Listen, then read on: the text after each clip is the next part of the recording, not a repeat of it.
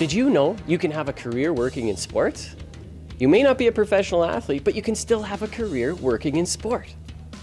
Sport management combines your love of sport with business fundamentals, making it a meaningful career path, with jobs working in professional sport, junior hockey, or local, provincial, or national sport organizations, sport media, or even founding and managing your own business in sport.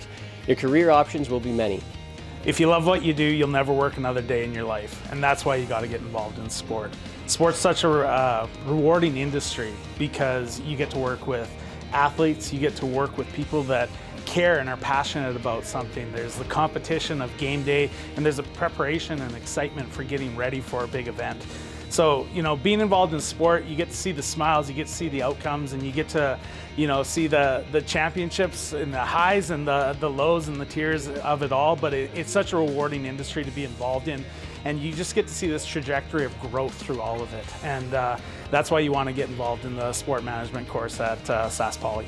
Sport in general is so amazing to be a part of because you feel part of a family, you feel a part of an experience. Um, personally, working for a professional basketball team, seeing eyes and fans in the stadium watching the product that you take so long to plan and prepare for, um, it's really rewarding and obviously it's a super fun environment to be a part of. I took sport business myself in school and I felt like it really prepared me for a career in sport and gave me the tools to go to employers and be confident when interviewing with employers and be able to have those skill sets to say, hey, I know how to do this, this, this because I learned it in school. Being a young female in the sport industry profession is super important to me because it's a growing industry, but then it's also a growing industry for females, whether that's in the front office or on the team operations side, uh, I think there's lots of opportunities for women to come in and change the game in sports.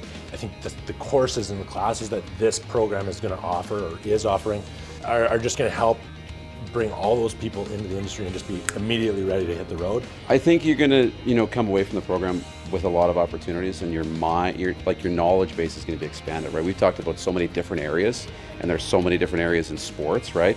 So getting knowledge on all of them and coming out with, with you know, a better understanding of the industry that you're going into, I think that's why you'd want to enroll. Understanding like the volume of opportunities that are available in sports. Like it's more than just being a coach or a GM or you know being in the business operations side. There are thousands of opportunities in sports all across you know North America and around the world. This program is going to have many work integrated learning opportunities. Almost every course has learning outcomes built into them where students are going to interact with actual sport organizations, solve problems that they're experiencing, and put together different plans to help these organizations grow whether that be in the nonprofit or commercial sector. There's going to be a lot of opportunities for students to make connections and gain experience in working with industries. So what are you waiting for? Enroll today or visit the Business Diploma webpage on the saskpolytech.ca website and start your journey towards becoming a sport management professional.